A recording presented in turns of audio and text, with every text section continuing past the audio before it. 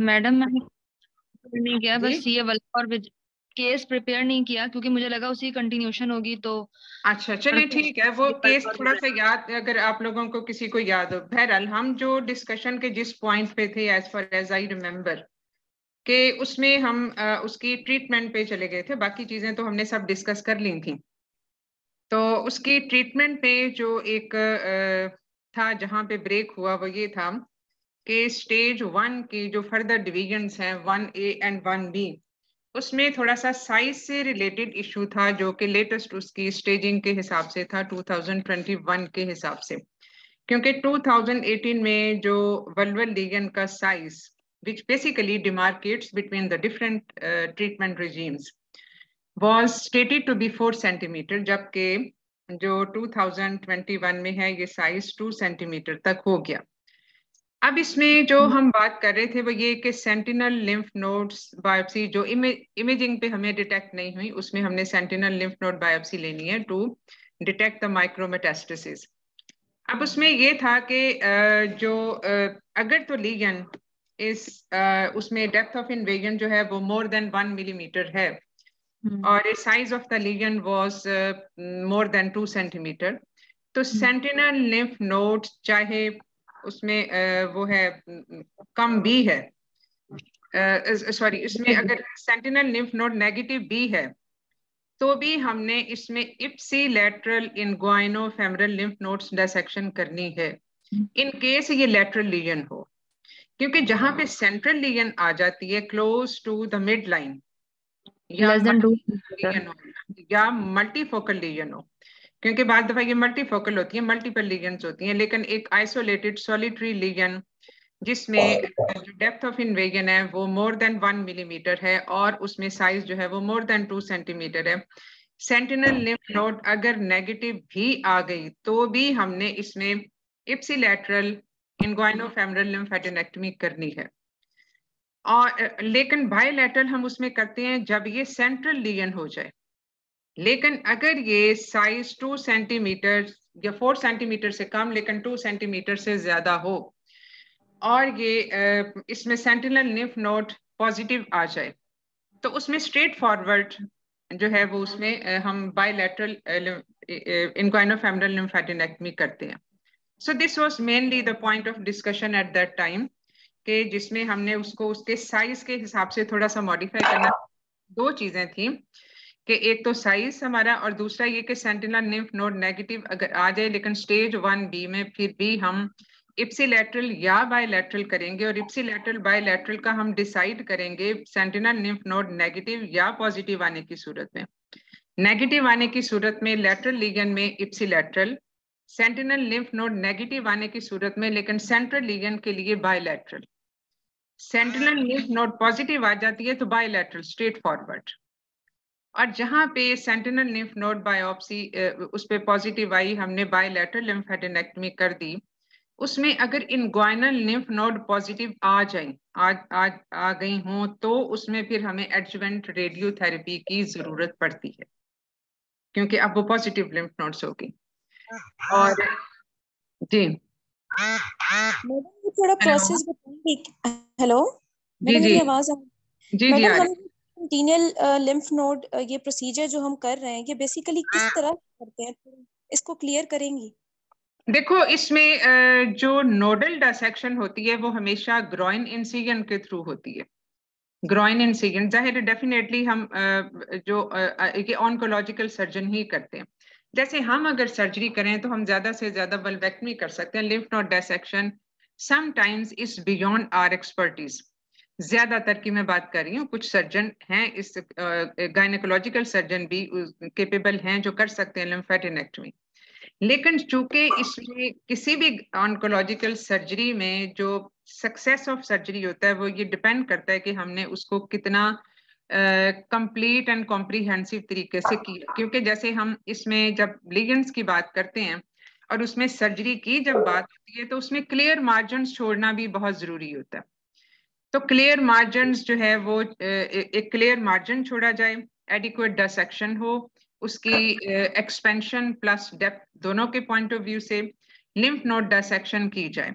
इसलिए इसीलिए जो है वो उसमें ऑनकोलॉजिकल रजिस्ट्री जो बनी होती है बाहर कंट्रीज़ में भी, और जो एक्चुअली एक प्रॉपर तरीका है इसका वो ये कि जो अप्रोप्रिएट एक्सपर्टीज और कॉम्पिटेंसी लेवल के जो पर्सनल हैं, हम उनको रेफर करें। So that inadequate surgery is not being performed क्योंकि इसमें जो इनिशियल सर्जरी की जो सक्सेस है, वो इसी पे डिपेंड करती है।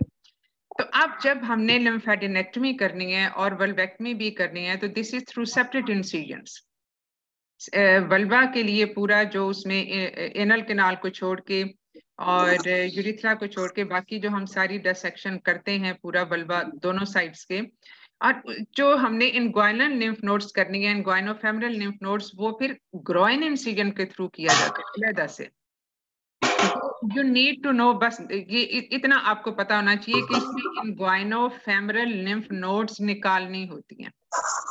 और जो स्टेज इसमें बियॉन्ड स्टेज टू और थ्री में जो जब पेशेंट चला जाता है the mass is surgically resectable क्योंकि सर्जरी हम तभी करते हैं यंग एज पेशेंट्स में करते हैं अर्ली स्टेजेस में करते हैं रिसेक्टेबल मैस में करते हैं। बाज दफ़ा सर्जी सर्जिकल मैस रिसेक्टेबल है लेकिन उसमें हम उसको इनिशियली uh, थोड़ा सा डाउन साइज़ कर देते हैं बाय कीमोथेरेपी और by radiotherapy to make it more resectable and practical तो इसमें इसमें जो है वो जो बेसिकली जो है वो फिर ये सारा करना ज़रूरी होता है और उसमें जो ओवल शेप इंसिजन जो ग्रॉइन में हम देते हैं वो purely dissection for the lymph nodes के लिए ही होता है। मैडम जैसे हम वन बी में देख रहे हैं कि सेंटिनियल लिम्फ नोड्स पॉजिटिव जैसे हम वन बी में देख रहे हैं कि हाँ सेंटिनियल लिम्फ नोड्स पॉजिटिव के नेगेटिव हैं। Uh, मतलब मिड लाइन ट्यूमर नहीं है वन साइडेड है ना या लेफ़्ट या राइट right का ट्यूमर है फॉर एग्जांपल हाँ। और हमने हाँ. बनाई है कि वन बी स्टेज है तो हाँ. हमने रेडिकल वेलवेक्टमी करनी है और हमने देखना है सेंटिनियल लिम्फ नोड तो हमें मतलब वो क्या प्रोसीजर होता है कोई डाई जिस तरह से लिखा हुआ है बुक्स में कि हम देखो देखो जो लिम्फ नोड आइडेंटिफिकेशन है ना देखो लिम्फ नोड आइडेंटिफिकेशन हम डिफरेंट तरीकों से कर सकते हैं अब एक तो एफ़ जो कि लिम्फ नोड बायोप्सी को लेने से इमेजिंग स्टडीज़ जैसे सीटी वगैरह जो हैं, ये सब इससे इमेजिंग स्टडी से हम कर सकते हैं। तीसरा क्लिनिकली पेल्पेबल चौथा, जो रेडियो आइसोटॉप सिंटोग्राफी होती है, वो उसके साथ भी। तो ये तीन चार तरीके होते हैं जिससे हम लिम्फ नोड्स की आइडेंटिफिकेशन कर सकते हैं। और अमूमन हम, अगर ये इन सारी चीज़ों से नॉन इन्वेजिव तरीके से अगर हमें लिम्फ नोड्स का पता चल जाता है तो फिर हम उसके बाद हाँ। दफ़ा एक रिएक्शनरी हाइपरप्लेजिया भी हो जाता है लिम्फ नोड्स का जैसे इन्फ्लेमेशन वगैरह में है। तो इन्फ्लेमेशन में रिएक्शनरी हो जाता है जबकि वो उस तरह से मेटास्टेसिस वाली चीज़ तो नहीं होती। तो इसलिए जो है फिर उसमें लिम्फ नोड बायोप्सी लेके उसका माइक्रो मेटास्टेसिस उसके लिम्फ नोड इन्वॉल्वमेंट को हम माइक्रोस्कोपिकली कंफर्म कर देते हैं। And once it is confirm it has to be taken out और इन अदर केसेस अगर हम उसको लिम्फ नोड बायोप्सी क्योंकि इसमें हम जिस तरीके से चलते हैं, उसमें बायोप्सी उसमें biopsy remains the main stay क्योंकि हमने उसके ऊपर डिसाइड करना है कि माइक्रो इन्वेजन लिम्फ नोड्स की है या नहीं है। तो इमेजिंग और माइक्रो इन्वेजन हम तब स्टडी करते हैं जब हमें जो है वो बाद दफ़ा इमेजिंग स्टडी पे पता चल भी जाता है, नहीं भी पता चलता, लेकिन बायोप्सी जो है वो एक हमारा एक इंपॉर्टेंट टूल होता है for identification of the lymph node involvement जब हमने lymph lymph ji. Madam sorry to interrupt madam biopsy का रिज़ल्ट तो हमें मतलब कुछ टाइम के बाद मिलेगा ना? और हमने हाँ जी बिल्कुल। लेकिन मेरा ख्याल है सेवन डेज़ में तो मिल ही जाता है। और इसमें अब ऐसी भी इमरजेंसी नहीं होती। है आखिर सर्जरी के बाद हम कोई हफ़्ता दो हफ़्ता इंतज़ार करते हैं ना कीमो या रेडियो का अगर हमने पोस्ट ऑफ़ देनी हो।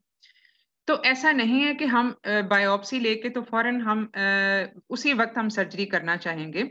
डेफिनेटली ये ये हमारी एक्सटेंट ऑफ़ सर्जरी को डिटरमिन करेगा। जो जो लिम्फ नोड इन्वॉल्वमेंट का जो सिनेरियो है, ये हम इसीलिए डिटरमिन करते हैं कि इससे हमें पता चलता है कि हमने इसको निकालना है, नहीं निकालना रिसेक्टेबल है, नहीं रिसेक्टेबल इसको पोस्ट ऑफ़ रेडियोथेरेपी से मैनेज करना है या सर्जिकली लिम्फेडिनेक्टमी करनी है। ये बहुत सारी चीज़ें होती हैं जो इसमें डिसाइड करने वाली होती हैं। And basically which are a determinant factor for prognosis of the patient तो lymph node involvement lymph nodes को हम बेसिकली निकालते भी इसलिए हैं कि उनके अंदर जो माइक्रोमेटास्टिस हो गया ये फर्दर स्प्रेड ना करे। यानी जो लिम्फेटिक स्प्रेड है, वो एक डेफिनेट एक रूट ऑफ़ स्प्रेड है। लिम्फेटिक्स हैं डायरेक्ट कॉन्टेक्ट है, या हेमाटोजेनिस स्प्रेड है, ये सब चीज़ें वो हैं जिससे डिस्टेंट मेटास्टेसिस हो सकते हैं, एक स्टेज से दूसरी स्टेज में पेशेंट जा सकता है। तो इसलिए लिम्फ नोड्स को निकालना ज़रूरी होता है, क्योंकि सबसे पहले यही चीज़ें हैं जो जो ट्यूमर सेल्स जिनको इन्वेट कर सकते हैं। लिम्फ नोड्स वगैरह लिम्फेटिक्स हैं या डायरेक्ट कॉन्टेक्ट से। इसीलिए डायरेक्ट कॉन्टेक्ट वाली चीज़ तो आप एक सेफ़ हेल्दी मार्जिन को पीछे रख के इंश्योर करते हो। जो लिम्फेटिक स्प्रेड है, वो आप इस तरीके से इंश्योर करते हो कि what are the are the lymph nodes जो उस एरिया को ड्रेन कर रही हैं, आप उनको निकाल दें। और बाकी हिमाटोजेनिक स्प्रेड तो ऑटोमेटिकली खत्म हो ही जाएगा जब आप उसको मैस को निकालेंगे तो। तो इस तरह से जो तीन रूट ऑफ़ स्प्रेड हैं उस ट्यूमर के, वो आपने इंश्योर कर दिए कि अब इसके, और ये होता है कि इसमें डिज़ीज़ प्रोग्रेशन या रिकरेंस ना हो। अब रिकरेंस क्यों होती है? या तो आपने कुछ जो इन्वेडेड एरियाज़ हैं सर्जरी में, उनकी रिसेक्शन नहीं प्रॉपर की और वो पीछे रह गए। या फिर कुछ लिम्फ नोड जैसी जो इन्वॉल्व थी, वो आपने निकाली नहीं है, या उसको पोस्ट ऑफ़ रेडियोथेरेपी या कीमोथेरेपी नहीं दी तो उससे स्प्रेड हो गया। तो ये बेसिकली रिकरेंट से बचाने के डिफरेंट तरीके होते हैं। तो इसीलिए जो है वो लिम्फ नोड डायसेक्शन पे बहुत फोकस किया जाता है। लेकिन अमूमन एक जो गायनिकोलॉजिकल सर्जन है, वो अमूमन ये इसमें जनरल सर्जन की हेल्प लेते हैं या इससे भी ज़्यादा बेहतर तरीका होता है कि आप ऑनकोलॉजिकल सर्जन को जिसमें टिश्यू प्लेन डायसेक्शन वगैरह करके तो उसके बाद इसको निकालना होता है। लिम्फ नोट डायसेक्शन एक सिंपल प्रोसीजर नहीं होता। Because these are embedded in loose areolar tissue और ये क्लिनिकली आपको उस तरह से बाद दफ़ा ना नज़र आते हैं ना पेल्पेट होते हैं। तो इसीलिए जो है वो इसको निकालना एक ऑनकोलॉजिकल सर्जन जिनको सारे टिश्यू प्लेन सब चीज़ों का पता होता है, ये वो ही कर सकते हैं। And sometimes if not possible and you think कि इसमें लिम्फेटिक स्प्रेड जो है वो होने के बहुत ज़्यादा चांसेस हैं तो उस सूरत में आप फिर पोस्ट ऑपरेटिव रेडियो या कीमोथेरेपी देते हो ज़्यादातर हम इसको पोस्ट ऑप रेडियोथेरेपी के साथ मैनेज करते हैं इन केसेस ऑफ़ ये जो है वलबल सीए या इवन विजाइनल सीए में भी। उसमें भी इसी तरह से किया जाता है कि पोस्ट ऑफ़ फिर हम रेडियोथेरेपी देते हैं। तो ये ये हमारी कंफ्यूजन सिर्फ़ इस स्टेज तक थी क्योंकि बाकी जो स्टेजेस हैं जो stage two three stage two three and four जो यानी जो एडवांस्ड स्टेजेस हैं।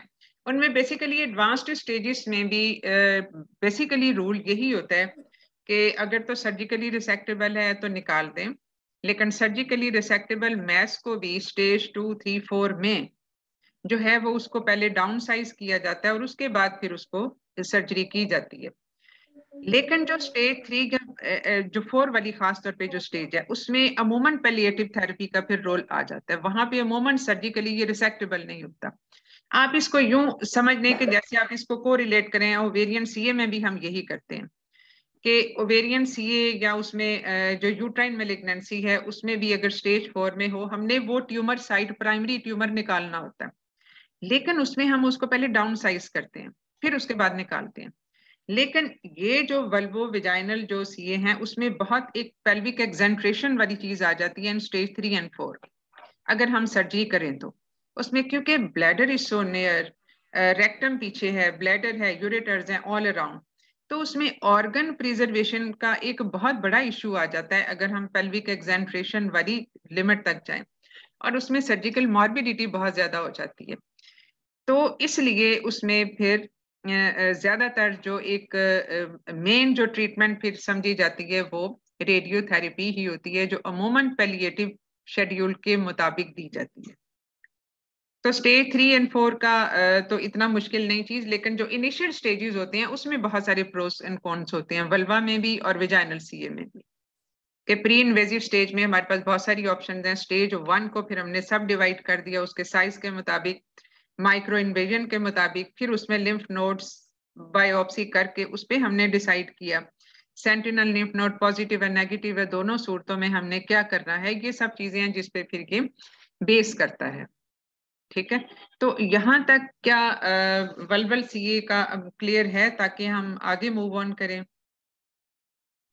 मैडम फिर ये जो हम ग्रोन में इंसिजन देख के बायोप्सी ले रहे हैं ये फिर हम मतलब लोकल में कर रहे हैं। देखो बेटा ग्रोइन इंसिजन तो हम तब देते हैं ना जब हमने लिम्फेडेनेक्टमी करनी है।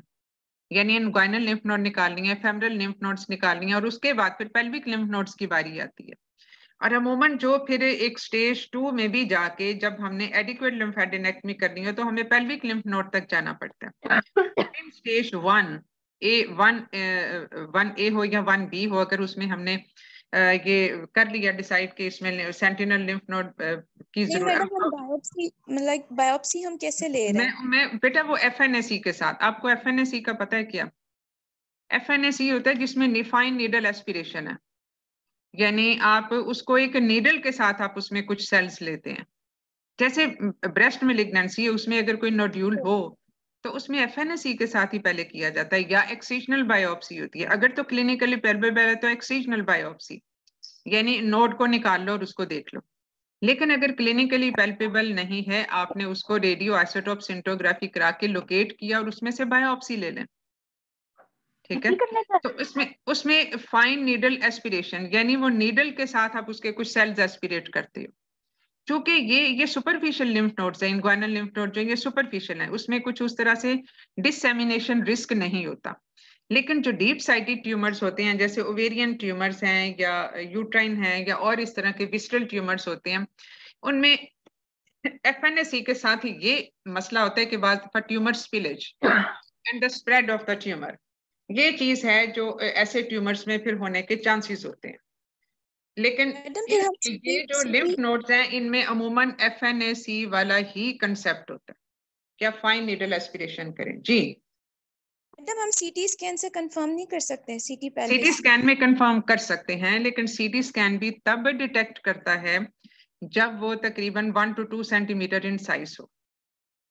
और लिम्फ नोड जितनी बड़ी बड़ी तो अमूमन कम ही होती हैं। तो ये जो लिम्फ नोड डिटेक्शन है, वो भी एक साइज़ होगा तो सीटी पे भी डिटेक्ट होगा।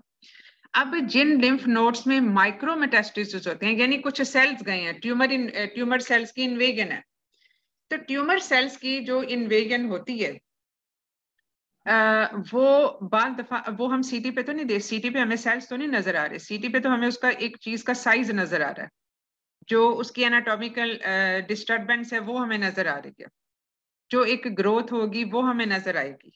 या अगर कोई दूसरे ऑर्गन्स में मेटास्टेसिस है तो वो के तौर पे हमें नज़र आएँगे।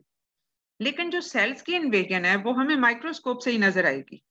और माइक्रोस्कोप से कैसे नज़र आएगी, वो तब जब हम उसकी बायो उसकी कुछ, उसके कुछ सेल्स को सेल साइटोलॉजी हम करेंगे तो तब हमें नज़र आएगा।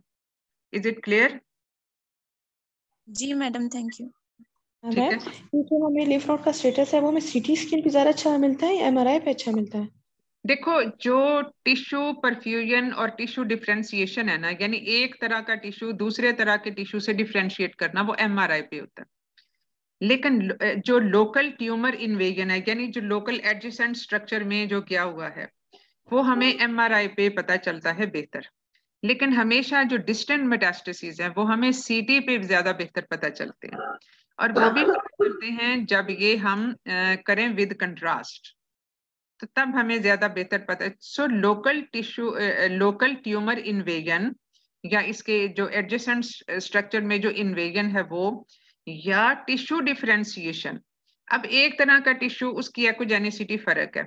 दूसरी तरह का टिश्यू फ़र्क है। जैसे इसकी एक मिसाल ये है कि जैसे हमने फाइब्रोड और एडिनोमाइसिस के दरमियान में डिफ्रेंशिएट करना होता है। तो उसके लिए M R I is best हम उसके लिए सीटी नहीं कराते। क्योंकि वो एडिनोमाइसिस और जो फाइब्रोड का जो बेसिकली जो इंटरवीनिंग जो उसका जंक्शन है with the myometrium surrounding myometrium या जो एंडोमीट्रियम और मायोमीट्रियम का जंक्शन है या उसकी कोई इन्वेजन है तो वो हमें एमआरआई पे ज़्यादा पता चलेगी। जैसे हम यूट्राइन मेलिग्नेंसी में करते हैं। तो local tumour extension plus tissue differentiation is better assessed by MRI, while the metastases and the secondaries and the distant lymph nodes are assessed better by CT scan. बस ये आपने इतनी सी चीज़ याद रखनी है मैडम अगर एग्ज़ाम में लाइक uh, हमें सस्पिशियस है सी वल्वा का तो हम कौन सी इमेजिंग मॉडलिटी को चूज़ करें फिर आप उसमें सीटी uh, का बेहतर रखो फिर वो ज़्यादा बेहतर फिर सीटी का होगा क्योंकि इसमें देखो वल्वा के साथ जो एडजेसेंट स्ट्रक्चर्स हैं, वो ज़्यादा ग्रोइन लिम्फ नोड्स क्योंकि इसका ये जो ब्लैडर इन वेगन और जो बाकी चीज़ें ना, वो जाके स्टेज फोर में आती हैं। तब तक बहुत सारी और चीज़ें आइडेंटिफाई हो चुकी होती हैं। तो इसमें सीटी है या पेट स्कैन है, ये ये सारी चीज़ें हैं जो इसमें ज़्यादा बेहतर तौर पे होंगी। जहाँ पे हम यूट्राइन मिलिग्नेंसी की बात करते हैं, वहाँ पे M R I is a better choice जहाँ पे हम ओवेरियन मिलिग्नेंसी की बात करते हैं, वहाँ पे CT is is a better choice जहाँ पे हम सर्वाइकल सीए की बात करते हैं अगेन सीटी इज़ अ बेटर चॉइस ठीक है? तो ज़्यादातर सीटी पे हमारे काफ़ी मसले हल हो जाते हैं। जो एमआरआई है उससे हम सीटी बाज दफ़ा सीए सर्विक्स में भी एमआरआई किया जाता है, अगर हमें फ़र्ज़ किया उसकी लोकल एक्सटेंशन नहीं पता चल रही तो लेकिन ये चीज़ हम सीटी पे भी देख सकते हैं।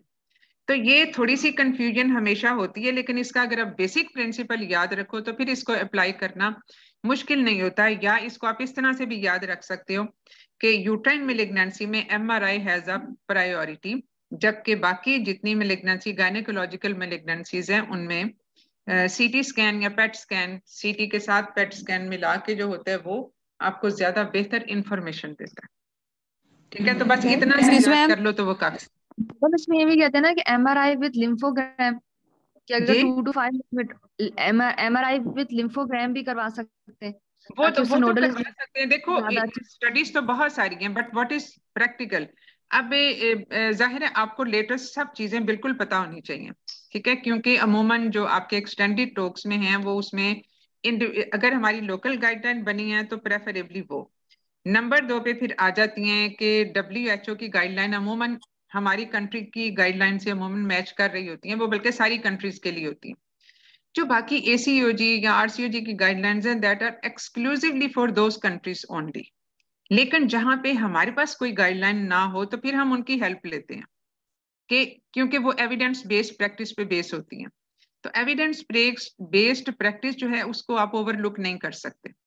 क्योंकि जो भी एरिया है जहाँ पे हमारी अपनी गाइडलाइन एग्जिस्ट नहीं करती वहाँ पे definitely you have to take a backup of some good good practice जो एविडेंस बेस्ड प्रैक्टिस होती है। और उसके लिए फिर हम उनकी गाइडलाइन को यूज़ करते हैं।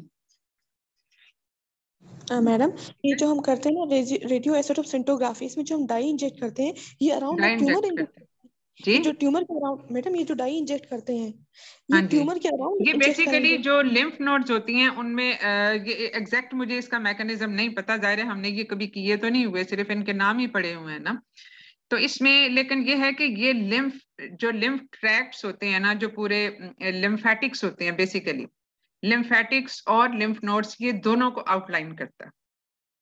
ठीक है, जैसे हम, हमने जो यूरिनरी सिस्टम है, उसके लिए हमने पाइलोग्राम जो रखा हुआ होता है, या यूरोग्राफिन के साथ है, हमने डिफरेंट स्टडीज़ होती हैं थायराइड के लिए और रेडियो एक्टिव आइसोटोप्स होते हैं। तो इसी तरह से इसके लिए जो है, ये लिम्फ लिम्फेटिक वेसल्स जो है, वो उसको स्टडी किया जाता है। जैसे वेसल्स को हम एंजियोग्राफी के साथ स्टडी करते हैं। तो इसी तरह से ये भी जो है, जो अब कैसे इंजेक्ट करना है फ्रेंकली आई डोंट नो क्योंकि हमने इसको कभी प्रैक्टिकली होते नहीं देखा। लेकिन ये वो चीज़ें हैं जो इसके मेथड ज़ाहिर है कि मेथड आपसे पूछेगा तो कोई भी नहीं you are not an oncologist लेकिन फिर भी अगर आपने अपने कंसेप्ट क्लियर करने हो तो दिस यू कैन स्टडी ये तो मतलब ये तरीका कार बाकी सारी चीज़ें तो दी ही होती हैं। ठीक है? तो मैडम मैडम? हमारे सेटअप में सेंटिनल लिम्फ नोड बायोप्सी हो रही है मतलब हमारे हॉस्पिटल्स में? आ, कई जगहों पे होती है। कई जगहों पे होती है कि उसमें लिम्फ नोड जो है जहाँ पे आपको देखना है कि लिम्फ नोड इन्वॉल्वमेंट है या नहीं है तो वहाँ पे लिम्फ नोड बायोप्सी कर ली जाती है। यही F N S G breast CA breast CA के लिए तो अक्सर जगह पे हो रही है। मुझे गायनोकोलॉजिकल डिग्नेंसी में वल्वा का हम्म। नहीं आइडिया हो रही है कि नहीं? जी। ठीक है, लेकिन ये ये जो बाकी मेलिग्नेंसीज होती हैं, जैसे ओवेरी अब देखो, हम लिम्फ नोड पल्पेट करते हैं ना, जब हमारे पास कोई ओवेरियन सीए का पेशेंट आता है या यूट्रन सीए का भी अगर पेशेंट जो सस्पिशन होती है ऑन हिस्ट्री एग्जामिनेशन या अगर ऑलरेडी डायग्नोसिस है तो हम जब फ़िज़िकल एग्जामिनेशन करते हैं we always feel for the notes ठीक है सुपरा क्लेविकल है सब सब पेंडिबुलर है या इनक्वाइनल लिम्फ नोड्स हैं, ये वो हैं जो असेसिबल लिम्फ नोड्स कही जाती हैं सुपरफिशियल लिम्फ नोड्स तो उनको हम पल्पेट करते हैं इसीलिए कि लिम्फ नोड डिटेक्शन इन्वॉल्वमेंट की डिटेक्शन के लिए कि ये पेल्पेबल हैं या नहीं है। पेल्पेबल हैं तो डेफिनेटली उसकी रिस्क स्कोरिंग फिर बहुत ज़्यादा बढ़ जाती है। अगर ये ना पेल्पेबल पेल्पेबल होना, उसको रूल आउट तो नहीं कर रहा होता, क्योंकि वो तो बाद दफ़ा इमेजिंग स्टडीज़ पे भी पता नहीं फिर चलती। बावजूद इसके कि उनकी इन्वॉल्वमेंट है। ठीक है? अच्छा मैम मैम हाँ ये जो सेंटाइनल लिम्फ नोड बायोप्सी करते हैं ये हम वन बी ऑनवर्ड्स करते हैं। और अगर ये काइंडली क्लियर कर दें कि अगर वो पॉजिटिव होगा तो फिर हम बायोलेटरल लिम्फेडिनेक्टमी जी अगर वो पॉजिटिव होगा तो फिर हमने बायोलेटरल करना है और अगर ये नेगेटिव है तो फिर इप्सीलेटरल करना है। लेकिन अगर सेंटिनल लिम्फ नोड नेगेटिव भी है लेकिन अगर ये ये सेंट्रल लीजन है तो भी हमने फिर बायोलेटरल करना है। ओके ठीक है क्योंकि सेंट्रल के सेंट्रल के इन्वॉल्व होने के चांसेस ज़्यादा हैं। अलबत्ता जो स्टेज वन ए है जिसमें इन्वेजन जो हमने पिछली दफ़ा भी वैसे डिस्कस किया था जिसका साइज़ भी कम जिसमें माइक्रो इन्वेजन भी कम वहाँ पे हम अमूमन ये लिम्फेडिनेक्टमी की हमें ज़रूरत नहीं पड़ती और वहाँ पे फिर हम लिम्फ नोड बायोप्सी भी नहीं करते। लेकिन मैडम ज़रूरत हो जाती है। ठीक है ठीक है मैम थैंक यू हाँ जी। अब हम विजाइनल को थोड़ा सा डिस्कस कर लें। तो विजाइनल का कोई केस किसी ने प्रिपेयर किया हुआ या किसी ने कोई देखा हुआ हो?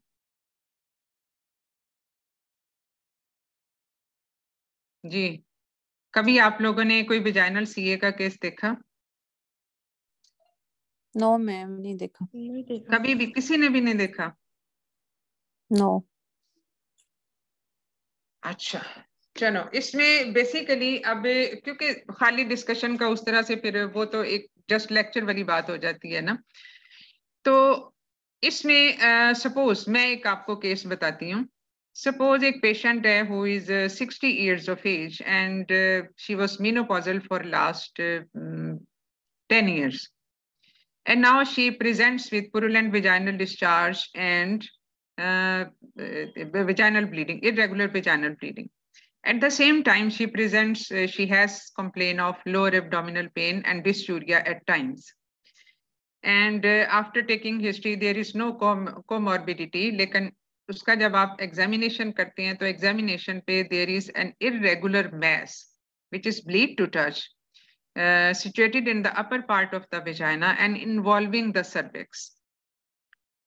इसमें आप ये आपका केस सिनेरियो है फिर उसके बाद एक यंग एज वाला सिनेरियो भी आपको बताऊँगी ये मैं वो बता रही हूँ जो मैंने बेसिकली देखे हुए हैं या मैनेज किए हुए मैम ये कैसे पता चलेगा? सर्वाइकल सी नीचे आया है वेजाइना फिनोल पे वेजाइनल सी ऊपर सर्विस मैं इसीलिए तो पूछ रही हूँ ये ये इस अब इसमें क्या बेसिक अब क्या इसमें बेसिक रूल क्या होता है? आप इसको प्रोसीड कैसे करेंगे? मतलब इसमें अब देखो आपको ये पूछा जाता है कि now uh, after narrating the relative uh, relative in, uh, related information relative information you have to answer certain questions asked by the examiner या question भी बाद दफ़ा दिए होते हैं क्योंकि ये सारे इंटरेक्टिव ही होते हैं तो इसमें रेलिवेंट इंफॉर्मेशन इस पेशेंट में आप क्या और देखना चाहोगे ma'am related to her current she presents with the history of this problem for the last 4 5 months ठीक है? इसकी फोर फाइव मंथ्स की हिस्ट्री है और इसमें ज़ाहिर डिफरेंशियल में ये दोनों चीज़ें आ जाएँगी। So you have to take the history accordingly madam madam सबसे पहले तो इसकी प्रेजेंटिंग कंप्लेन जैसे आपने बताया कि इसको प्रूलन विजाइल डिस्चार्ज है तो उसकी सारी डिटेल्स देंगे कि ऑन ड्यूरेशन सिवियरिटी क्या थी association with the post coital bleeding या पोस्ट मेनोपोजल ब्लीडिंग थी कि नहीं और उसके बाद हाँ। इसको पहले से भी कोई ऐसा सर्वाइकल विजाइनल डिस्चार्ज या पहले कोई ऐसा रहा है या फिर कोई ऐसा स्मेयर हुआ है जिसमें मतलब स्मेयर लास्ट डन और नॉट फिर उसके बाद हाँ। उसके ये भी हिस्ट्री लेंगे एसोसिएशन विद मैलिग्नेंसी सिम्टम या शॉर्टनेस ऑफ़ ब्रेथ है। या नहीं है राइट अपर कॉर्डेंट पेन है एपिगेस्ट्रिक पेन है हेडेक या कोई भी जानने हाँ। उसके सिस्टमिक डिज़ीज़ में इन्वॉल्वमेंट है कि नहीं फिर वो। तक क्या उसके जैसे फैक्टर्स होते हैं तो स्मोकिंग एच आई वी या डायबिटीज़ या इम्यूनो कंप्रेशन की कोई हिस्ट्री हो age her age at the time of marriage multiple sexual partner इस तरह की हिस्ट्री लेंगे स्मोकिंग की हिस्ट्री लेंगे उसके ऊपर इवेल्युएट करेंगे और लास्ट स्मेयर अगर इसका हुआ हुआ है तो वो क्या था और इसी तरह अगर लास्ट कोई और इनकी लैब्स हुई है कि नहीं अब तक हाँ। क्या ट्रीटमेंट लिया है और ये किस तरह एग्जैजरेट कर रहा है इनको जैसे हाँ. अगर शी सेक्चुअली एक्टिव तो इसमें Uh, मतलब कितनी इसमें डिस्पेरोनिया है कि नहीं और इसके अलावा एसोसिएटेड विद हेमेचूरिया और पैरेक्टल ब्लीडिंग भी है कि नहीं और फिर हाँ. उसके बाद जैसे अगर हम ये करते हैं तो फिर हम बायोप्सी लेंगे और बायोप्सी के बाद भी अच्छा हम लोग एग्जामिनेशन अंडर एनेस्थीसिया कर सकते हैं अपने वर्कअप के बाद तो so, so you नहीं बेसिकली जो रेलिवेंट इंफॉर्मेशन है वो आप ठीक है आपने थोड़ा सा जंप कर लिया। क्योंकि जहाँ पे आप आपको तो मैंने सिर्फ़ एक स्पेकुलम एग्जामिनेशन की बताई है फाइंडिंग लेकिन ये है कि उसमें हिस्ट्री में जो चीज़ें हैं सपोज़ उसमें कोई उसने उसका पहले कभी स्मेयर नहीं हुआ हुआ लेकिन उसको पहले कभी डिस्चार्ज की या पोस्ट क्वार्टर ब्रीडिंग की हिस्ट्री नहीं थी but for the last four five months she gives history of postcoital bleeding as well as rather she is unable to perform uh, coitus. और uh, दूसरा ये कि uh, अब ये विजाइनल डिस्चार्ज ये सारी चीज़ें इसमें डिस्यूरिया uh, भी है बर्निंग मिक्चुरेशन भी है इसको इरेगुलर विजाइनल ब्लीडिंग भी है पुरुलेंट डिस्चार्ज भी है। हम्म। और बाकी हिस्ट्री ऑफ़ वेट लॉस आपको ज़रूर पूछना चाहिए क्योंकि जहाँ पे आपने जहाँ पे आपको सिनेरियो में दे दिया गया कि एक इरेगुलर मैस है। Truncating growth type irregular mass which is situated in the upper part of the vagina and extending to the cervix. तो वहाँ पे जो आपने थोड़ी सी डिफ्रेंसिएशन आपको हिस्ट्री पे ये नहीं पता चल सकती। थोड़ा सा तो इसमें जो पॉइंट्स हैं इन फेवर ऑफ़ विजाइनल ज़रूर होंगे उसमें। और वो जो points in history in favour of vaginal ये वो क्या होंगे इसमें? जितनी चीज़ें आप नैरोइंग ऑफ़ विजाइना नहीं वो तो बात की बात है। हाँ वो तो बात की देखो वो तो एग्जामिनेशन की बात है मैं हिस्ट्री की बात कर रही हूँ। On history what point will suggest कि ये विजाइनल है ये सीए नहीं है वो सर्वाइकल नहीं है?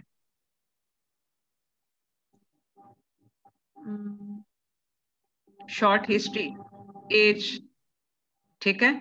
क्योंकि देखो हर अब उसमें ऐसा नहीं है कि सर्वाइकल सीए ओल्ड एज में नहीं हो सकता और विजाइनल सीए यंग एज में नहीं हो सकता। लेकिन एक जो मेन एज होती है जो एवरेज एज है जो यूजुअल एज है of presentation of a certain malignancy आपने उसके साथ उसको रिलेट करना है ठीक है? तो पहली चीज़ ये कि उसकी age she is old age sixty sixty और इसके अलावा इसकी जो है शॉर्ट हिस्ट्री है जो सर्वाइकल सी है that is very slow growing tumour और उसमें hmm. उसके कुछ प्री इन्वेजिव स्टेज में भी उसके कुछ सिम्टम्स होते हैं। ठीक है ना? ये दो चीज़ें हैं जो कि in favour of vaginal CA इसमें जा रही हैं। ठीक है? तो ये ये सारी चीज़ें आपने पूछी। अब एग्जामिनेशन को आपने टोटल स्किप कर दिया।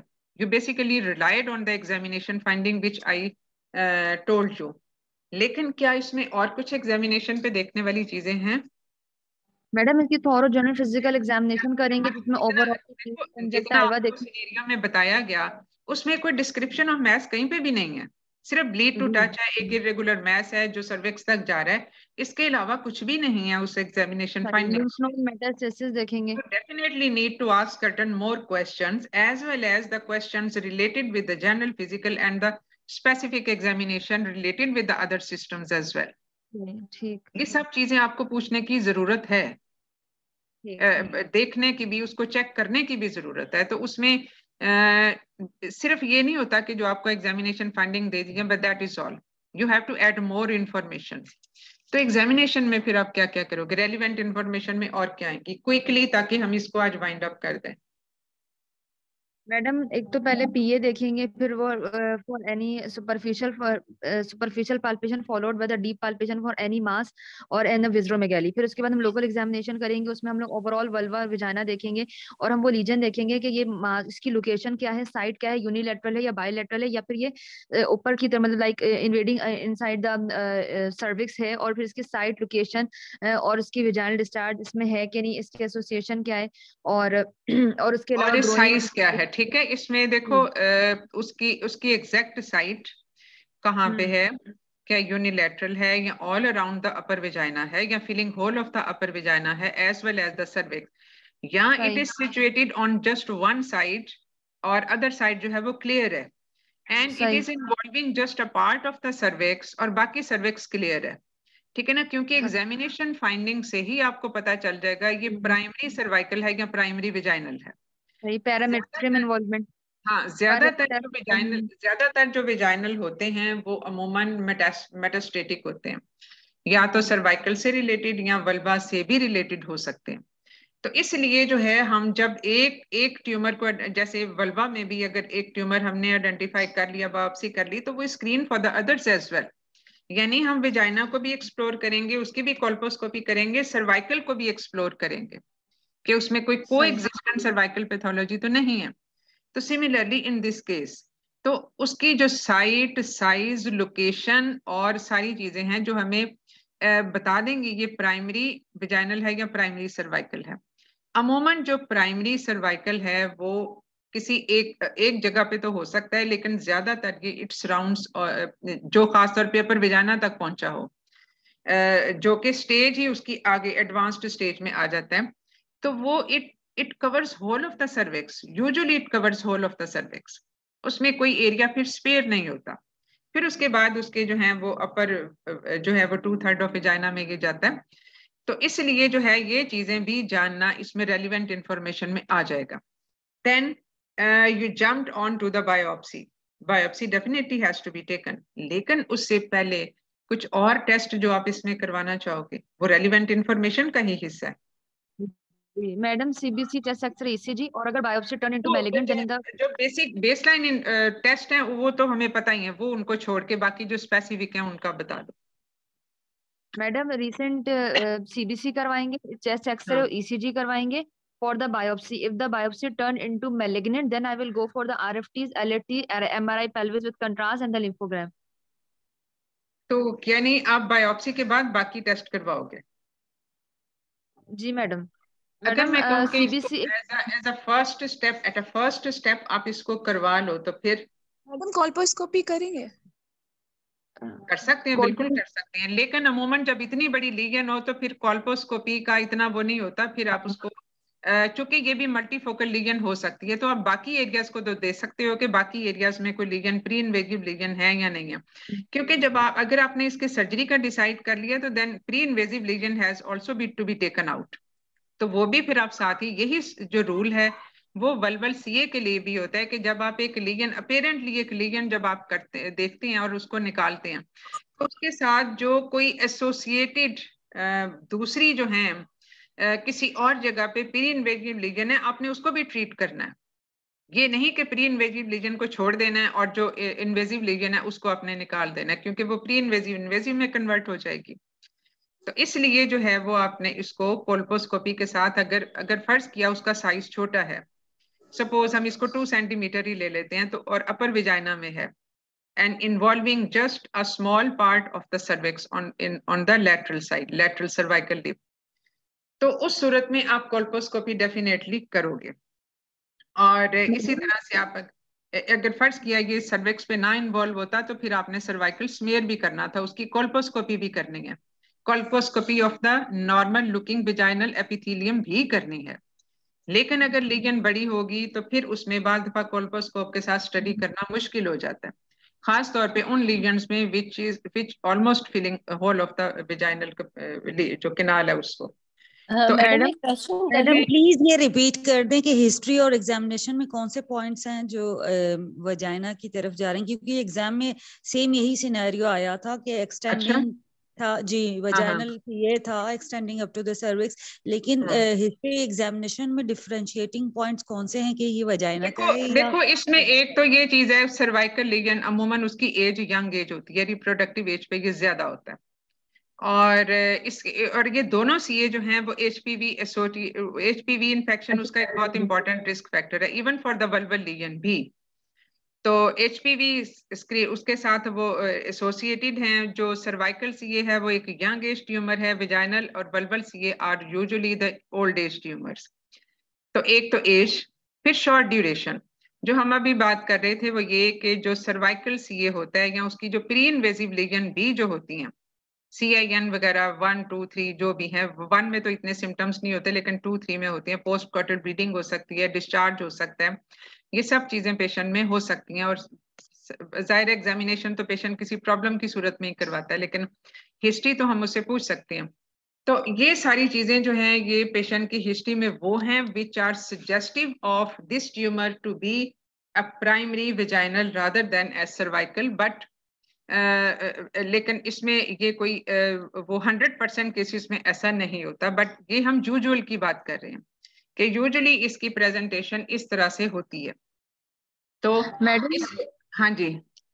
मैडम सॉरी टू इंटरप्ट मुझे पूछना है कॉल्पोस्कोपी तो हम उस वक्त करेंगे ना जब सर्विस प्री इन्वेजिव लीजन हमें लग रहा होगा या सस्पिशियस सर्विस होगी। नहीं तो सर्विस ना भी हो। तब भी ना भी हो तब भी।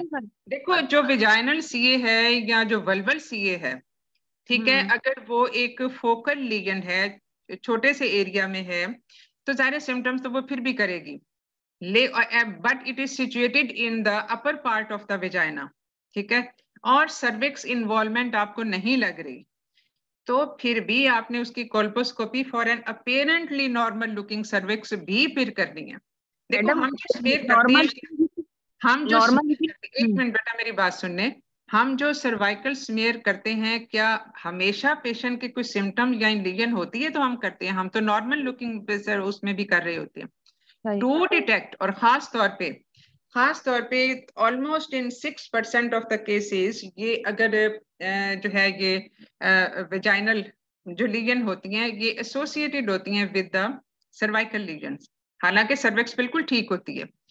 तो आपने जो कॉल्पोस्कोपी करनी है in a normal looking cervix तो आप उसको जनरली वैसे भी कर सकते हो but the more specific would be after application of acetic acid exactly to locate that area which has to be screened more uh, carefully और वहाँ से फिर अगर एसिटोवाइट एरिया uh, है अगर हो जाते हैं तो इसका मतलब है सस्पिशियस एरिया है।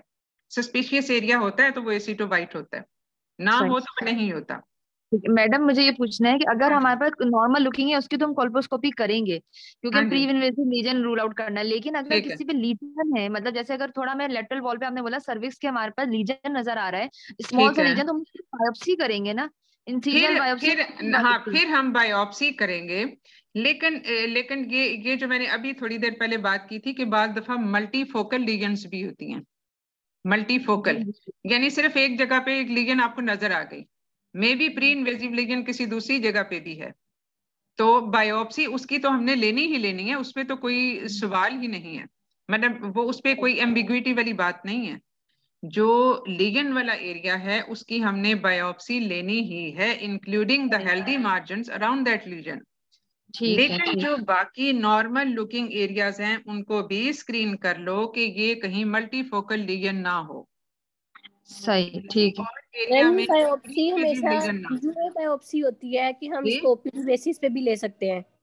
बेटा जरा दोबारा बोलें क्लियर नहीं है मैम ये बायोप्सी हमेशा ईयूए e बायोप्सी होती है कि हम इसको ओपीडी बेसिस पे भी ले सकते हैं अगर पेशेंट की कोमॉर्बिडिटीज नहीं है। देखो बायोप्सी उस तरह से लेना जो है वो पेशेंट के लिए पेनफुल हो सकता है। Patient might not relax EUA जो होता है हमेशा EUA and biopsy proceed biopsy वाली ही चीज़ होती है। आप ऐसे कैसे किसी की बायोप्सी ले सकते हैं? पेशेंट आपको अलाउ ही नहीं करेगा पेशेंट पेनफुल होगा उसके लिए मसला होगा। इवन आप स्पेकुलम डालते हैं तो पेशेंट के लिए पेनफुल होता है। और मैम जो कॉल्पोस्कोपिक गाइडेड बायोप्सी होती है अगर जैसे हाँ. आप बता रहे हैं कि छोटा लियन है तो उसमें उस पे हाँ. भी तो रिज़ल्ट आ जाएगा अगर पहले हम कोल्पोस्कोपी बायोप्सी ले लेकिन देखो अगर अगर छोटा लियन है तो उसमें कोल्पोस्कोपी तो हम तब के साथ डायरेक्टेड बायोप्सी तो तब लेते हैं ना जब हमने कोल्पोस्कोप से एक एरिया आइडेंटिफाई कर लिया कि यस ये वाला जो एरिया है इस जगह पे ये सस्पिशियस लुकिंग है। फिर आपने उसको उसकी बायोप्सी ली। स्टिल द सेम रूल आपने yes, बायोप्सी लेनी है ना चाहे वो कोल्पोस्कोपी डायरेक्टेड हो चाहे आप उसको स्ट्रेट फॉरवर्ड ले रहे हैं। जी तो ठीक। है तो उसको उसको कोल्पोस्कोपी इटसेल्फ एक पेनफुल प्रोसीजर नहीं है। लेकिन अगर कॉल्पोस्कोपिक डायरेक्टेड बायोप्सी लेनी है तो फिर तो आप उसमें ज़ाहिर है वो करेंगे कुछ ना कुछ तो उसको एनालिटिया देंगे ना? मैडम बेस्ट ये है कि वल्वल और विजाइनल सीए में हम ईयूए बायोप्सी बोले। हाँ जी हाँ जी। जी मैडम ठीक है बायोप्सी क्योंकि उसमें देखो क्लिनिकल सीए सर्विक्स में क्लिनिकल स्टेजिंग होती है यानी आपने ईयूए करके उसकी एक्सटेंट को देखना होता है उसके साइज़ को देखना होता है बायोप्सी लेनी होती है। आपने ये सारी चीज़ें हैं जो उसकी क्लिनिकल स्टेजिंग का हिस्सा होता है और उसको उसको फिर आप कंबाइन करते हो विद इमेजिंग स्टडीज़ और ओवरऑल फिर आप एक स्टेज डिफाइन कर देते हैं। जो ओवेरियन और जो यूट्राइन मेलिग्नेंसीज हैं, वो सर्जिकल स्टेजिंग है। जो वल्वल और विजाइनल स्टेजिंग है, वो again clinical plus imaging studies तो ये ये भी आपको जो है, वो थोड़ा सा क्लियर होना चाहिए कि ये क्लिनिकल स्टेजिंग में हमेशा ईयूए एंड बायोप्सी ज़रूरी हिस्सा होता है। जी मैम जो जो चीज़ लोकली एग्जामिनेशन कर रहे हैं वो क्लिनिकल इवन बलवा की जब आप कोई बायोप्सी ले रहे होते हो चाहे वो कोई ल्यूकोप्लेकिया है तो आप उसकी बायोप्सी ऐसे तो नहीं ना ले रहे होते उसको प्रॉपर एनालिसिया दे के लेते हैं। जी मैडम ठीक है। तो चलें अब हम केस की तरफ़ वापस आते हैं तो आपने फिर इसका और क्या एल एफ़ करवा लिया वो आर एफ़ करवा लिए लेकिन इन्होंने शायद बायोप्सी के बाद करवाए थे बट आई से कि इसमें आपको लग रहा है सस्पिशियस केस तो इसको आप एक एज अ फ़र्स्ट ऑप्शन या जो प्राइमरी जो टेस्ट होते हैं ये आप उनको इसमें शामिल कर सकते हैं उसमें कोई क्वेश्चन वाली बात नहीं होगी। इसके अलावा आप और इसमें क्या करें?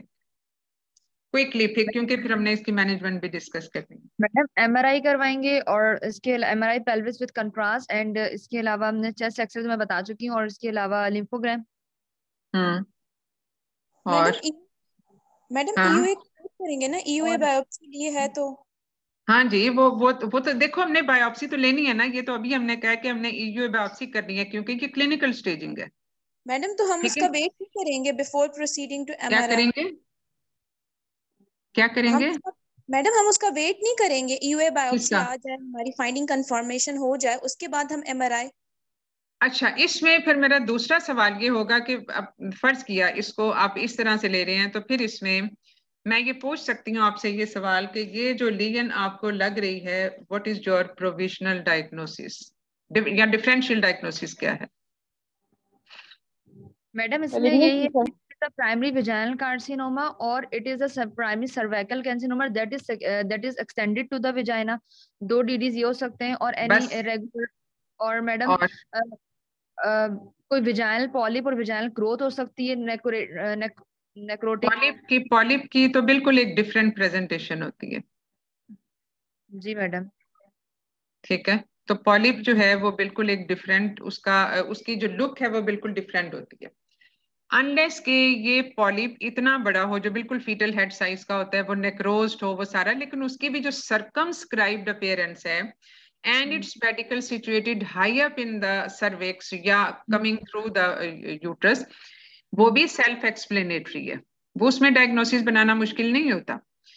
लेकिन ये जो ग्रोथ है जो फंगेटिंग टाइप ग्रोथ उसका मैं सिर्फ़ उसका डिफरेंशियल डायग्नोसिस पूछ रही हूँ। वन इज़ प्राइमरी सर्वाइकल या primary vaginal but again both of these diagnosis are malignant ये ठीक है ना? आप इसको मेलिग्नेंसी में ही लेबल कर रहे हैं दोनों डिफरेंट दोनों डिफरेंशियल डायग्नोसिस को। क्या कोई नॉन मेलिग्नेंट डिफरेंशियल डायग्नोसिस भी है इसमें? विजाइनल सिस्ट कौन सी सिस्ट है जो इस तरह का फंगेटिंग ग्रोथ देगी भाई? सिस्ट तो बिल्कुल एक डिफरेंट चीज़ है। जी। तो अगर हमें क्लिनिकली ये लग रहा है बहरहाल anyway this is this is subject to discussion जरा लंबी डिस्कशन में है कि इसमें आप टेस्ट uh, जो हैं वो बाकी टेस्ट जो हैं वो बायोप्सी की रिपोर्ट आने के बाद कराएँगे इसमें पहले भी करवा सकते हैं क्योंकि हमारा डिफरेंशियल डायग्नोसिस और कोई ऐसा बन नहीं रहा। क्योंकि जो वल्वल वॉर्ड्स हैं या वल्वल, अमूमन विजाइनल वॉर्ड्स इतने बहुत ज़्यादा कॉमन नहीं होते, वल्वल वॉर्ड्स होते हैं। The other possibility may be the लेकिन वॉर्ड्स की अपेयरेंस भी बिल्कुल फ़र्क होती है। And usually these are in the keratinized epithelium squamous epithelium keratinize squamous epithelium अब जहाँ पे वल्वल वॉर्ड्स होते हैं, वहाँ पे तो आप इसको किसी लिगन के साथ डिफ्रेंशिएट कर सकते हो। लेकिन विजाइनल ग्रोथ को वॉर्ड्स के साथ करना बड़ा मुश्किल होता है, क्योंकि इस तरह विजाइना के अंदर वॉर्ड्स अमूमन नहीं होते। लेकिन जब वॉर्ड्स होते हैं तो ये चूँकि एच एसोसिएटेड लीगन है, इस वजह से एच से एसोसिएटेड बाकी पैथोलॉजी को भी आप स्क्रीन करते हो, यानी सर्वाइकल और विजाइनल तो वॉर्ड्स में, अब इसमें चूँकि डिफरेंशियल हमारा वॉर्ड का नहीं बन रहा, जो इसके साथ क्लोजली सिमुलेट कर सकता है तो हमारा बिटवीन मिलिग्नेंसी होगा so test can be performed even before the report of biopsy but however अगर आप इसको करना भी चाहो, उसके बाद भी तो दैट इज़ इक्वली एक्सेप्टेबल उसमें कुछ ऐसी मसले वाली बात नहीं है, ठीक है? तो इसमें फिर आपने ईयूए और बायोप्सी ले ली, ठीक है? टेस्ट लेकिन टेस्टों में जो है वो, चलो हम L F Ts R F Ts को अगर छोड़ भी दें तो कोई बाकी सारे टेस्ट भी आप बायोप्सी के बाद कराओगे? जैसे आपने सी टी या एम आर आई का बोला। हम्म। फॉरवर्ड कराओगे। मैडम बायोप्सी अगर टर्न पॉजिटिव तो फिर हम लोग सारे टेस्ट करवाएँगे। इसका पूरा वर्कअप जैसे हम उसके बाद करवा लेते हैं हम बायोप्सी के बाद करवा लेते हैं। लिम्फोग्राम और पेट स्कैन भी करवा हाँ। सकते हैं कि नोडल मेटास्टेसिस है तो। ठीक है पेट पेट स्कैन वैसे सबसे ज़्यादा सुपीरियर होता है लॉन्ग विद द सीटी के जिसमें आपको सारे डिस्टेंट मेटास्टेसिस और ये सब चीज़ें पता चल जाती हैं। अब इस पे बायोप्सी पे आ जाता है स्क्वेमस सेल कार्सिनोमा जो टिश्यूज हैं वो जो सेल्स हैं वो आपको स्क्वेमस सेल कार्सिनोमा के आपको पता चल जाते हैं। स्क्वेमस सेल कार्सिनोमा लेकिन हमें ये नहीं पता ये विजाइनल है या सर्वाइकल है। स्क्वेमस सेल कार्सिनोमा तो दोनों में हो सकता है ना? विजाइना में और सर्वाइकल में भी। सही है। तो अब हम इसकी ट्रीटमेंट कैसे करेंगे? ट्रीटमेंट कैसे हमारी डिसाइड होगी क्या हम इसको कैसे नोडल मेटास्टेसिस है कि नहीं। ठीक है वो वो भी हमने आइडेंटिफाई कर लिया। सपोज़ नोडल मेटास्टेसिस नहीं है। ठीक है तो मैडम अगर हम साइज़ उसका था तकरीबन तकरीबन उसका थ्री सेंटीमीटर साइज़ था लियन का।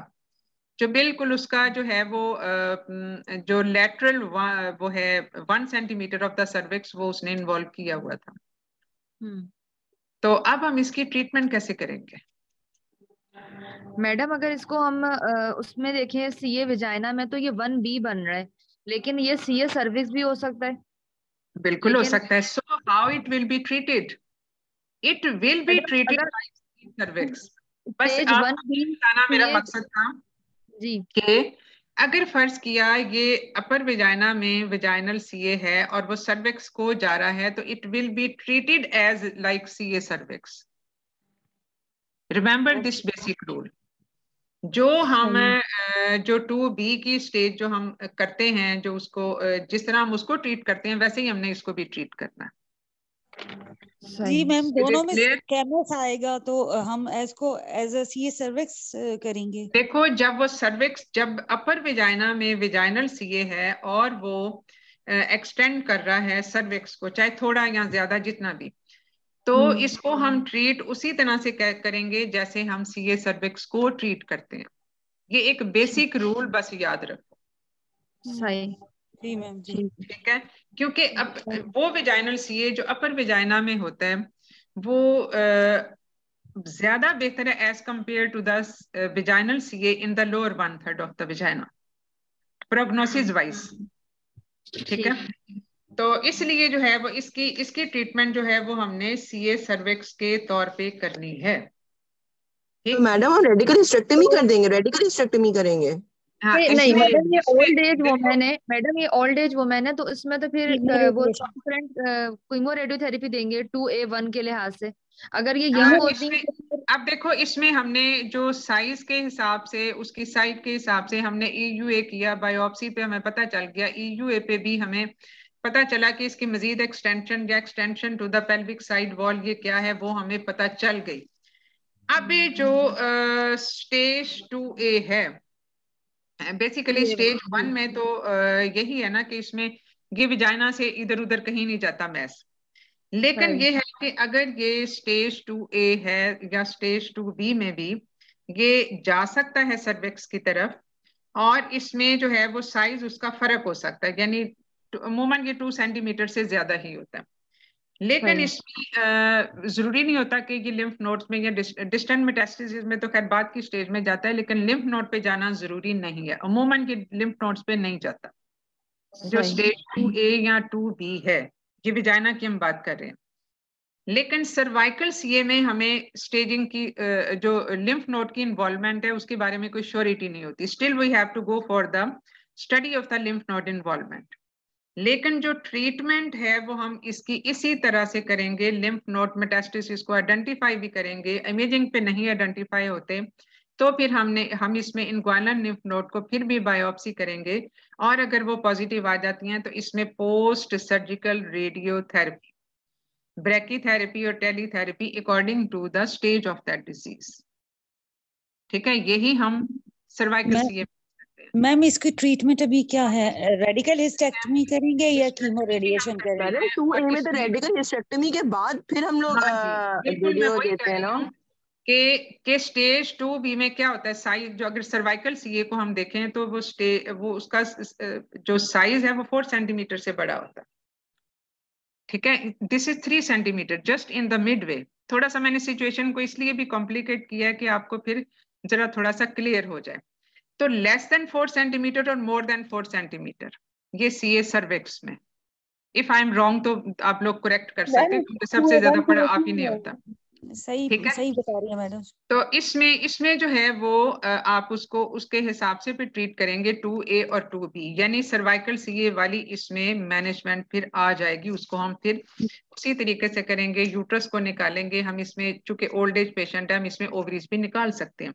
पर दाइम का रोल इसलिए भी होता है यंग एज में कि उसमें फर्टिलिटी का भी फर्टिलिटी सॉरी उसमें ये सारा मीनोपॉजल स्टेटस होने का ज़्यादा रिस्क होता है और उसके साथ सारी एसोसिएटेड कॉम्प्लिकेशन और इसमें lesion upper part of the vagina भी होगा लेकिन अगर नीचे कोई माइक्रो इन्वेजन कॉल्पोस्कोपी से हमने आइडेंटिफाई कर ली तो मैनी टाइम्स जो वेजनेक्टमी है आफ्टरवर्ड विद रिकंस्ट्रक्शन वो भी ऑफ़र की जा सकती मैडम मुझे पूछना है कि सीमी सर्विक्स जो स्टेज टू ए वन बन रही है ये मैडम तो उसमें तो हम हम्म। लोग यंग में जो पेशेंट में तो टाइप सी रेडिकल हिस्टेक्टमी करते हैं।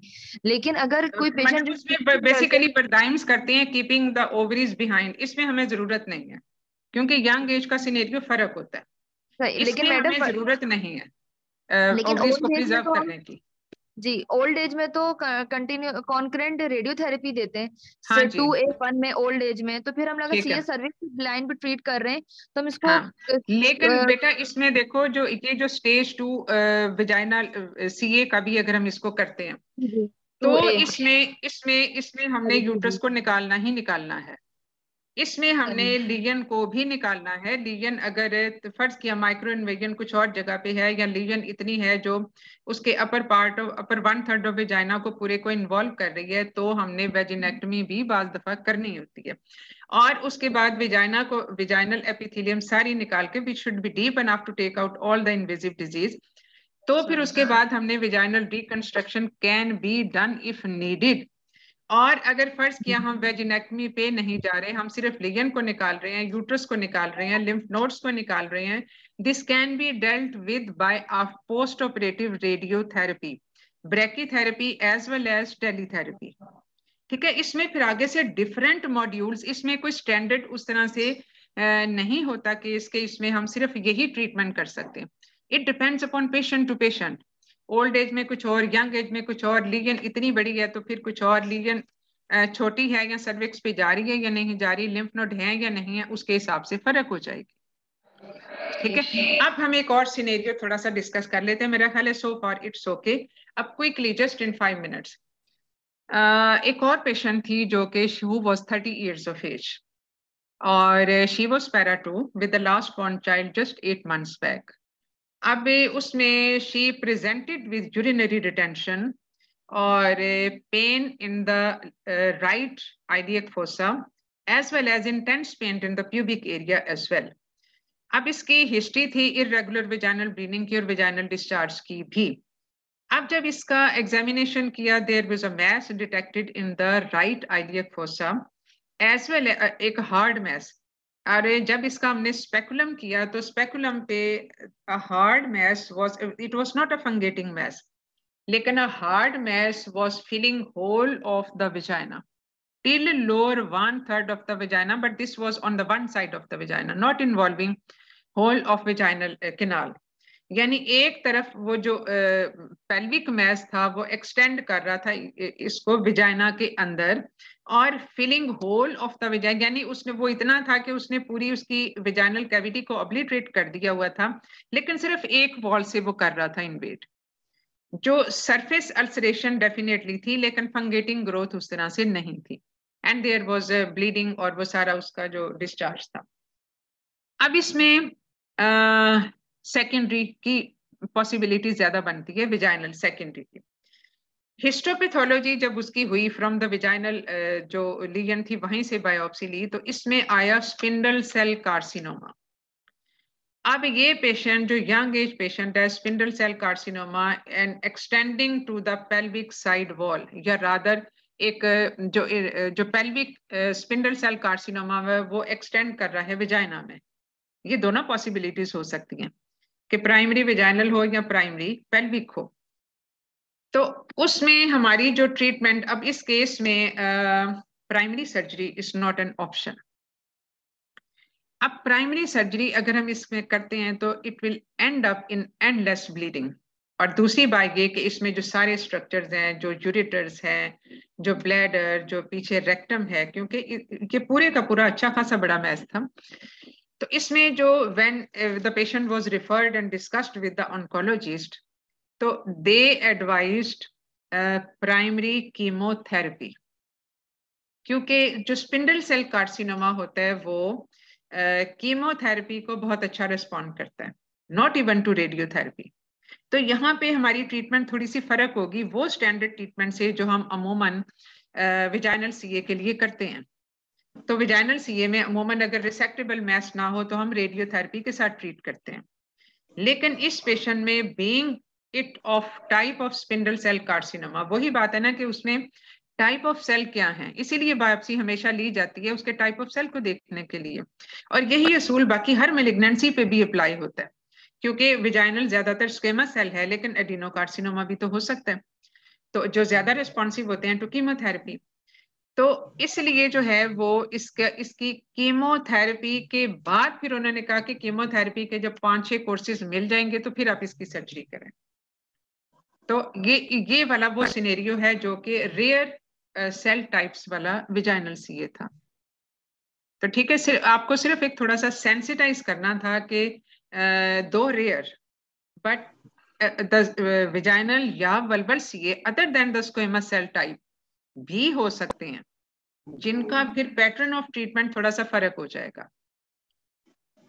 तो अब मेरा ख्याल है इसमें विजाइनल सीए वाली चीज़ तो क्लियर है क्योंकि विजाइनल सीए देखो अगर एडवांस्ड स्टेज में होगा तो फिर हमने उसकी रेडियोथेरेपी देनी है। एक एक हम जनरल प्रिंसिपल्स की बात कर रहे हैं। तो उसको हमने रेडियोथेरेपी देनी है या फिर उसकी एग्जेंट्रेशन करनी है अगर हम सर्जरी की तरफ़ जाएँ। लेकिन वहाँ पे फिर ऑर्गन प्रिजर्वेशन का एक बहुत बड़ा इशू आ जाता है which is a big question mark in young age patients और ओल्ड एज पेशेंट्स में भी फिर यूरिनरी और फीकल डाइवर्शन का जो है वो उसमें quality of life is is very much disturb लेकिन डिपेंड करता है कि रेडियोथेरेपी को पेशेंट कितना टॉलरेट कर सकता है और उसकी फिर सर्जिकल सर्जरी के लिए फिटनेस ये भी वो सारी चीज़ें हैं जो हमें फिर इसमें ड्यूली कंसिडर करनी पड़ती हैं while we are planning for the ultimate management plan in these patients ठीक है? तो मेरा ख्याल है आज हमने ये vagina we have finished with the vaginal and वल्बल CA hopefully अब कोई क्वेरी तो नहीं इसमें रहेगी। ये जो मिलिग्नेंसीज वाली जो चीज़ है ना, ये बड़ा मुश्किल टॉपिक होता है। क्योंकि इसमें इफ़ एंड बट्स बहुत होते हैं। और ये दूसरा ये कि इसमें इंडिविजुअलाइजेशन के इश्यूज़ बहुत होते हैं, लेकिन आपको सिर्फ़ ये समझने की ज़रूरत है कि बेसिक प्रिंसिपल्स क्या होते हैं। बेसिक प्रिंसिपल अब उसमें दोनों में वल्बल और विजाइनल में अर्ली स्टेज डिज़ीज़ है go for surgery late advance disease है गो फॉर रेडियोथेरेपी या फिर रेडियोथेरेपी के बाद उसको डाउन साइज़ करके या कीमोथेरेपी के बाद डाउन साइज़ करके फिर उसकी सर्जरी करो। तो ये सारी चीज़ें हैं जो कि हम इसमें आ, कर सकते हैं फिर। ठीक है? मैम मैम जो आपने बताया था ना आपके पास टू ए है टू सेंटीमीटर इन्वॉल्वमेंट हुई है सर्वाइकल की तो हम इसको सर्वाइकल सी के को ट्रीट करेंगे। इसमें हाँ। हमने उसमें रेडियो हिस्टेक्टमी कर दी बीएसओ कर दिया बायोलेटरल लिम्फ नोड डिसेक्शन कर दी वेजिनेक्टमी हाँ। कर दी रिकंस्ट्रक्शन कंसीडर कर ली। हाँ। इसमें रेडियोथेरेपी कब करेंगे? देखो उसमें रेडियोथेरेपी तो हम तब देंगे ना जब कोई रेजिडुअल लिम्फ नोड में आपने फ़र्ज़ किया लिम्फ लिम्फेडिनेक्टमी तो हमने करनी है। अब उन लिम्फ नोड्स के अंदर आप पता चला कि वो लिम्फ नोड्स पॉजिटिव है तो आपने फिर हर हाल में देनी है। लिम्फ नोड पॉजिटिव होने का मतलब ये है कि ये जो सेल्स हैं, जो ट्यूमर सेल्स हैं, ये पता नहीं कहाँ तक जा चुके हैं। तो वहाँ पे फिर आपने उन उन मेलिग्नेंट सेल्स को डिस्ट्रॉय करने के लिए फिर आप पोस्ट ऑप रेडियोथेरेपी देते हो। और फिर आप सारे डिस्टेंट ऑर्गन्स को भी स्टडी करते हो कि कहीं पे कोई ऐसा इन्वेजन तो नहीं। और अमूमन ऐसा फिर स्टेज फोर में ही हो रहा होता है। मैडम इसमें लिम्फ नोड डायसेक्शन है वो पेल्विक लिम्फ नोड डायसेक्शन होगी ना क्योंकि ये अपर विजाइना हम्म। को इन्वॉल्व कर रहा है। बिल्कुल के फिर हमने जाके पेल्विक लिम्फ नोड तक निकालना होता है। क्योंकि अगर आप सिर्फ़ इन ग्वाइनोफेमरन निकाल दो और वो दोनों पॉजिटिव आ जाए तो better go for the pelvic lymph node dissection क्योंकि फिर उसमें रिकरेंस के वरना बड़े चांसेस हो जाएँगे। और अगर ये सर्जिकली या किसी तरीके से वो और उसके इवन उसके निकालने के बाद भी निकालें या ना निकालें दोनों सूरतों में आपको फिर पोस्ट ऑफ़ रेडियोथेरेपी की ज़रूरत पड़ेगी। ठीक है? क्योंकि ये वो चीज़ें हैं जो फिर इसके रिकरेंस और प्रोग्नोसिस को इफ़ेक्ट करती हैं। मैडम ये जो पिछला सिनेरियो था ओल्ड एज वाला जिसमें हमने एज सर्वाइकल सीएस को ट्रीट किया था उसमें हमने आ, मतलब सर्वाइकल सीए में तो प्राइमरी ओल्ड एज में कीमो रेडियोथेरेपी होती है ना तो हम सिर्फ़ रेडियो कर रहे थे एक ही लेकिन लेकिन नहीं उसमें कीमो कीमो सेंसिटाइजेशन होती है यानी कीमो दे के हम उसको सेंसिटाइज करते हैं सेल्स को टुवर्ड्स रेडियोथेरेपी फिर रेडियोथेरेपी हमें बहुत ज़्यादा नहीं देनी पड़ती। तो बेसिकली इसको हम कहते हैं कीमो सेंसिटाइजेशन और कीमो सेंसिटाइजेशन वाली चीज़ बहुत सारी मिलिग्नेंसीज में आती है। तो कीमो सेंसिटाइजेशन का ही अब कंसेप्ट है यहाँ पे सर्जिकली रिसेक्टेबल मैस ना हो।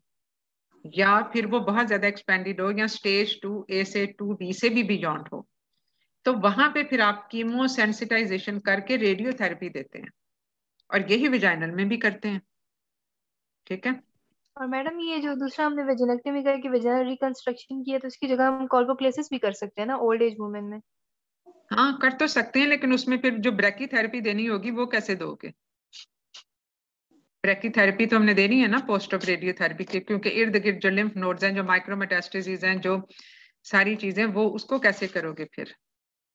तो वो वाली एक चीज़ है, क्योंकि वहाँ पे सेक्सुअल फ़ंक्शंस का तो शायद इतना बहुत ज़्यादा ना रह जाए अगर सिक्सटी ईयर्स पे भी हमें इस चीज़ का भी ध्यान रखना पड़ता है। चाहे वो मरीज़ साठ साल की है, लेकिन आप उसको, ज़रूरी तो नहीं कि वो सेक्सुअली इनएक्टिव ही हो। ये जो आपने यंग पेशेंट वाला सिनेरियो बताया जो यूनिट रिटेंशन और mass in right iliac fossa आपने बोला था ना तो आपने कहा हाँ। था इसमें मोस्ट प्रोबेबली सेकेंडरी विजाइनल मतलब प्राइमरी कहीं और है सेकेंडरी विजाइनल प्राइमरी कहीं पेल्विक में होगा स्पिंडल सेल और फिर उसके बाद वो सेकेंडरी विजाइनल में हो गया। लेकिन वही बात है ना कि आपने उसको सेकेंडरी विजाइनल किया तो आपने उसको ट्रीट तो करना है। सॉरी मैम यूनिट टेंशन इसमें क्यों हो रही है इस पेशेंट में? वो इसलिए कि मैस इतना बड़ा था कि वो उसको यूरिथ्रा को और खास तौर पे जो विजाइनल मैस भी था वो इतना बड़ा था कि यूरिथ्रा की लेंथनिंग हो जाती है ऑब्स्ट्रक्शन हो जाती है इसी वजह से urinary retention ma'am last child born eight months back था तो ये इसका अग्रेसिव हाँ। मतलब जल्दी जल्दी डेवलप हुआ इसका प्रोबेबली बहुत जल्दी डेवलप हुआ। कीमोथेरापी और फिर इसके बाद हाँ, इसमें जो हमें ऑनकोलॉजिस्ट ने बताया था वो ये बताया था कि इसमें हम कीमोथेरेपी देके डाउन साइज़ करेंगे। पाँच छह कोर्सेज कीमोथेरेपी के देंगे तो फिर उसमें आप सर्जरी करें क्योंकि पेशेंट यंग एज पेशेंट है। उसमें फिर क्वाइटल फ़ंक्शंस को रिटेन करना रिप्रोडक्टिव पोटेंशियल को रिटेन करना ये सब चीज़ें ज़रूरी हैं। सर्जरी कौन सी करेंगे? मैम सर्जरी वो मैस ही निकालना है ना वो देखो प्राइमरी मैस तो हमारा क्योंकि पहले वो कहती है कि मेरा सिर्फ़ एक तरफ़ महसूस होता था। इसका मतलब है प्राइमरी विजाइनल नहीं था। फिर उसके बाद आहिस्ता आहिस्ता जो है वो उसकी यूरिनरी डिटेंशन और फिर विजाइनल ब्लीडिंग और डिस्चार्ज की सारी चीज़ें होना शुरू हो गई। तो ये हमारा एक प्रोविजनल डायग्नोसिस था। मैडम ये कोई पेल्विक ट्यूमर मैम ये कोई पेल्विक हाँ बेसिकली प्राइमरी वाज पेल्विक ठीक है? और पेल्विक से ये फिर एक्सटेंड किया इनटू द वजाना ये ऐसा केस हमने भी वैसे पहली दफ़ा ही देखा था क्योंकि ये ज़ाहिर इतने कोई कॉमन तो होते नहीं है। नहीं मेरा मतलब है मैम इतना कॉमन कोई केस लेकिन बहरहाल ये भी चीज़ें ऐसी हैं जो आपको कभी ज़िंदगी में देखनी पड़ जाती हैं। इसमें टीएच तो मेरा ख्याल है हम इसको स्टॉप करें। मुझे नेक्स्ट टाइम बता दो कि आप नेक्स्ट टाइम आप क्या दे पढ़ना चाहते हैं। लेकिन मेरा ख्याल है हमें मिलिग्नेंसी वाली चीज़ें पहले पूरी कर लेनी चाहिए। क्योंकि एक जो टॉपिक हमारा शुरू हुआ हुआ है तो वो उसको फिर हम एक एंड पे करें क्योंकि ये जो ऑनकोलॉजी है ये काफ़ी डिफ़िकल्ट टू अंडरस्टैंड ये टॉपिक होता है। मैडम फिर जीटीएन और ब्रेस्ट कार्सिनोमा इन प्रेगनेंसी करवा दें। अच्छा चलो ठीक है, वो कोरियो वाला। और एक मेरा ख्याल है, इनका रह गया था किसी ने फरमाइश की थी ब्रेस्ट मिलिग्रेंसी इन प्रेगनेंसी तो ये दोनों चीज़ें हम कर लेंगे, ठीक है? तो आप लोग कोई केस प्रिपेयर कर लेना फिर। चलो ओके जी। अल्लाह हाफिज। Thank you